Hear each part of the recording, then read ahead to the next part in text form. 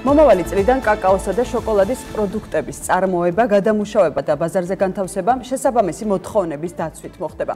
საქართველოს მთავრობის მიერ შემუშავებული ტექნიკური რეგლამენტი, რომლის მიზანიც შოკოლადის პროდუქტებთან დაკავშირებით რეგულირების ერთიანი პრინციპების განსაზღვრა და მომხმარებელთა უფლებების დაცვა 2023 წლის 1 ივლისიდან ამოქმედდება.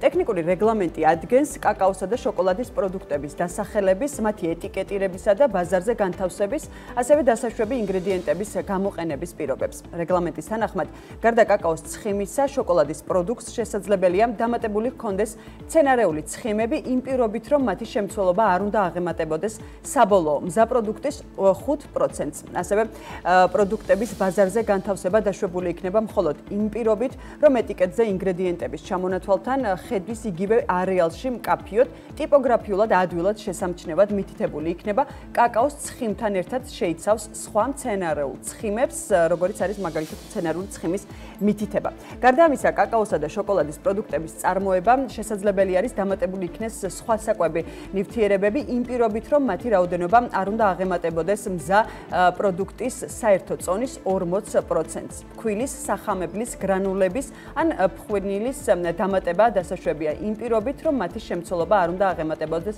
18%-ს. დასაშვებია მხოლოდ იმ არომატიზატორების დამატება, რომლებიც შოკოლადისა და რძის ცხიმის გემოს იმიტაციას, ანუ სიმულაციას არ ახდენენ.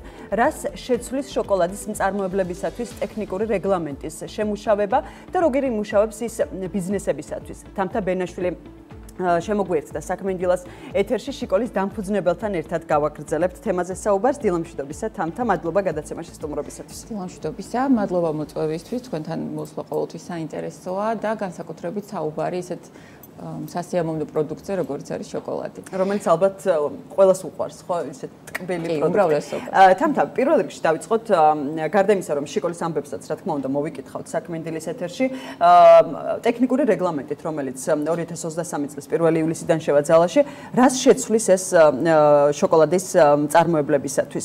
რა იცვლება თქვენთვის მომავალი წლიდან? ამ რეგლამენტის შესახებ ჩვენ შარშან გავიგეთ და BMG-სთანაც გქონდა ამაზე საუბარი.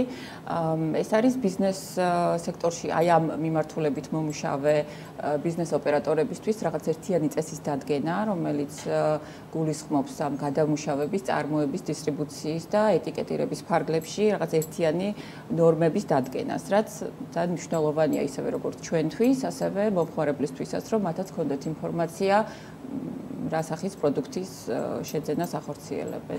დღეს საკმაოდ საკმაოდ კონკურენტუნარიანი არის ბაზარი. როგორც თუნდაც შეკოლის შემთხვევაში რა მიმართულებას თქვენ გაქვთ არჩეული, ხელნაკეთი, ადგილობრივი პროდუქტებით დამზადებული, ასევე იმპორტირებული. ხო, საკმაოდ გაჯერებული არის ბაზარი შოკოლადის სხვადასხვა პროდუქტებით, შემცველობით თუ ნამდვილი შოკოლადით.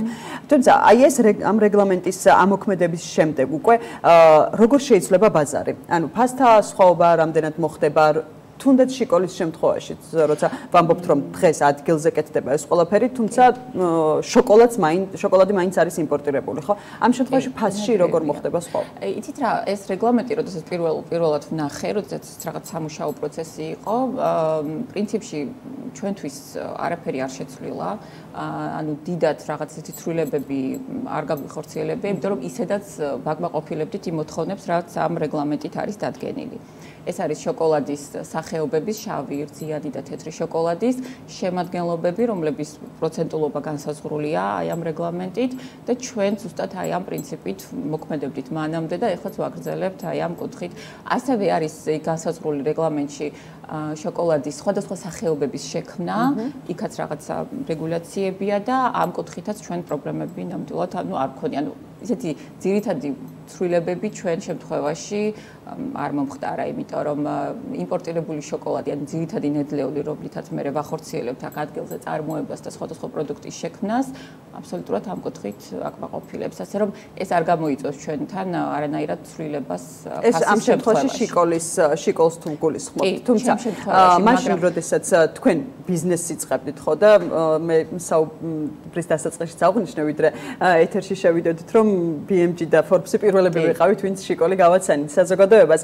და როცა ბაზარზე შემოხვედით თქვენ მაშინაც აღნიშნეთ რომ ნუ რა თქმა უნდა ჯერ შეისწავლეთ ბაზარი ხო?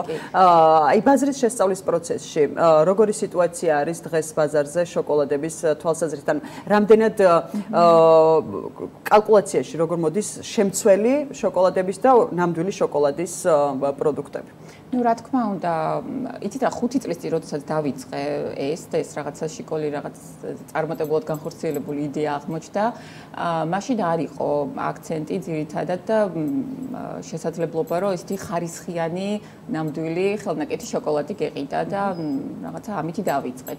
რა თქმა უნდა მასიური მოხმარების პროდუქტია რაც მარკეტებში და ესეც სასურსათო მაღაზიებში შეუძლია მომხმარებელს იყიდოს და რა თქმა უნდა არის დიდი განსხვავება შემცველობაში აი ამ შოკოლადსა და იმათ შორის და ძალიან მნიშვნელოვანია რომ გაიმიჯნოს აი ეს და აი ამ დადგენილებით გაჩნდეს რაღაც რეგულაცია რომ წარმოებლებმა განსაზღვრონ შემადგენლობა რომ მომხმარებლისთვის ეს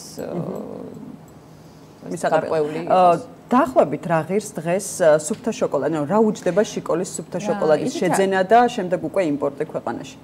და აი ამ ეკონომიკურმა კრიზისმა, ინფლაციამ, რაც მსოფლიოში დღეს არის, რამდენად შეცვალა ფასები ამ მიმართულებით. თქვენ რა გიჯდებათ დღეს შოკოლადის იმპორტი? რა თქმა უნდა, წარმოება ლარშია, ჩვენ ევროში ხდება ამ შოკოლადის შეძენა. რა თქმა უნდა, ამ ფასტაცვლილებებმა და აი ამ კურსის ცვლილებებმა იმოქმედა ჩვენს შემთხვევაში, თუმცა ნუ ეს რაღაც გარდაუვალი პროცესია, რაღაც ბიზნესები ყველანაირად ცდილობენ, რომ მე ადაპტაცია მოახდინონ შესაბამისად. თუმცა ბოლო ორი წელიწადი ყველანაირად ვცდილობთ რომ საბაზრო ანუ საფასო პოლიტიკა არ შევცვალოთ, დავტოვოთ ფასები და მთელი აქცენტი გაკეთდეს უფრო წარმადობაზე, რომ რაღაც უფრო გავზარო გავზარდოთ წარმადობა და ფასები მაინც შევინარჩუნოთ იმისათვის, რომ ყველანაირი მომხმარებლისთვის ეს იყოს ხელმისაწვდომი პროდუქტი. თამთა სტატისტიკა რომ მოვშველიოთ ჩვენი საუბრის პარალელურად საქართველოს გასული წლის 7 თვის განმავლობაში დაახლოებით 30 მილიონზე მეტის შოკოლადი და შოკოლადის შემცველი კაკაოს ცხიმი შეიძინა. და 24.6%-ით არის ზრდა სტატისტიკაში. და ძირითადად საიმპორტო ქვეყნად სახელდება რუსეთი. ამ შემთხვევაში, როდესაც ასეთი სიტუაცია არის რეგიონში, ხო, რუსეთ-უკრაინის ომს გულისხმობ, თუ მოახდინეთ თქვენ ან დივერსიფიკაცია ან ხომ არ შეგეშალათ ხელი პროდუქტის იმპორტის შემთხვევაში? არა, იმპორტის კუთხით ნამდვილად არ ჩვენი მომწოდებელი, რომელიც უკვე 4 წელია მათთან თანამშრომლობთ, მუდმივად არის ერთ და იგივე და მათთან პრობლემა არ ქონია და რაც შეეხება გაყიდვების კუთხით პირიქით ამან მხოლოდ რაღაც დადებითად ანუ ბევრი ტურისტულ იმას თუ გავითვალისწინებთ რაც ქვეყანაში შემოდინება მოხდა ამან გაყიდვებს ამზაფხულს კი როგორც თბილისში, ასევე ბათუმშიც იყო მოთხოვნა. ლარის კურსის ამ მერყეობას თუ შევხედავთ, როგორ მოუწია შიკოლს, როგორც ბიზნესს გადაწყობა? რა მიმართულებებით მოხდა ცვლილება თქვენს საქმიანობაში?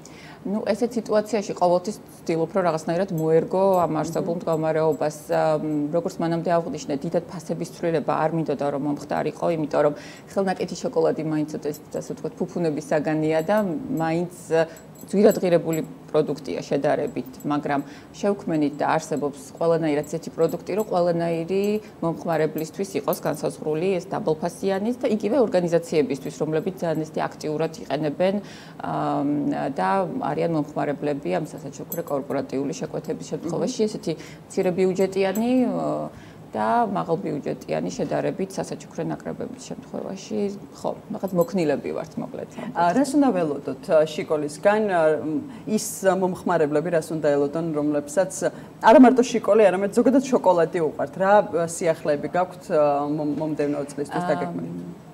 ჩვენ შარშან გავხსენით ერთი მაღაზია დამატებით, ანუ ეხლა შიკოლი წარმოდგენილია ორ მაღაზიაში, ქალაქ თბილისში, თვითონ ქალაქში, ერთ უბანში, ძალიან დიდი სურვილი მაქვს, რომ ძალიან მალე უფრო ტურისტულ უბანში გავაკეთო დამატებით ერთი მაღაზია და აუცილებლად ბათუმში. ბათუმში გეგმავთ, როდის გეგმავთ და იმიტომ რომ მოთხოვნა არის ძალიან ხშირად კითხულობენ ბათუმელები, რომ რატო არ არის თქვენი მაღაზია ჩვენთან და აუცილებლად მომავალ წლისთვის ეს მოთხოვნა უნდა დავაკმაყოფილოთ. დღეს რა ღირს, აი სხვაობა თუ შეგვიძლია მაყურებელს დავანახოთ ჩვენი ეთერის საშუალებით, დღეს რა ღირს? ბაზარზე ხელნაკეთი შოკოლადები, შიკოლის შემთხვევაში შეგვიძლია ხო ამ შემთხვევაში საუბარი და რა ღირს ის შოკოლადები, რომლებიც ქსელურ მაღაზიაში არის განთავს მაღაზიებში არის განთავსებული. იგივე თუნდაც იმპორტირებულს თუ შევატარებთ, რამხელა სხვაობა არის ფასებში? სხვაობა ნამდვილად არის ფასებში, იმიტომ რომ ნუ აი ეს ზუსტად შემადგენლობას თუ აა მივაქცევთ ყურადღებას ხელნაკეთ შოკოლადში, რომელსაც ჩვენ ვიყენებთ, აი ძირითადად ნედლეულში დიდი რაოდენობით არის კაკაოს ცხიმი, რომელიც სასარგებლო და კარგი პროდუქტია, რომელსაც ვერ ნახავთ აი ესეთ პროდუქციაში, რომელიც უფრო ისეთი მასიური მოხმარების შოკოლადში, რომელიც უფრო იმპორტირებულია, ის უფრო მცენარეულ ზედზე არის შედარებით დამზადებული, ასე ვთქვათ. აა ფასტა სხვაობა ნამდვილად არის, თუმცა ვერ ვიტყოდი, რომ ისეთი, რომელიც რაღაც ესეთი შოკოლადის მოყვარულებისთვის ძალიან მტკივნეული იყოს, ასე რომ ჩვენ გვყავს ჩვენ ისეთი მუდმივი კლიენტები, რომლებიც დაგემოვნების შემდეგ უკვე ძალიან თავისუფლად განსაზღვრავენ და მიჯდავენ ამ იმას გემოს და ხარისხს. ასე რომ ეს რომ სხვაობა ფასში კრიტიკული არ არის მომხმარებლებისთვის, შედარებით მაინც ძვირად ღირებულად შეგვიძლია ჩავთვალოთ ხელნაკეთი შოკოლადები. თუ მოთხოვნა რამდენად არის ხელნაკეთ შოკოლადებზე? არის. ხოლმე. ჩვენ საკმაოდ ძირთული პერიოდი კოვიდის დროს გადავიტანეთ, სხვათა შორის ძალიან მოვერგეთ იმ სიტუაციას და მომხმარებელიც ძალიან ბევრი ყავდა, არ გვინდოდა რაღაც წვეტა გქონოდა მომხმარებელთან.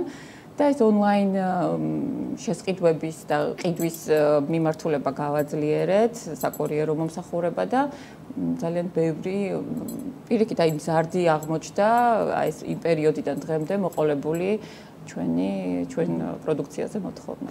ძალიან დიდი მადლობა თამთა გადაცემაში სტუმრობისათვის. წარმატებებს ვუსურვებ ცხადია შიკოლს და ძალიან მალე ვუსურვებ ბათუმშიც კიდევ ერთი ფილიალის გახსნას. მადლობა კიდევ ერთხელ თამთა ბენაშვილი. შიკოლის დამფუძნებელი იყო ჩვენთან ერთად და საუბრობდით ტექნიკური რეგლამენტის ამოქმედებაზე, რომელიც შოკოლადის წარმოებლებისათვის 2023 წლის 1 ივლისიდან ამოქმედდება და შევა ძალაში.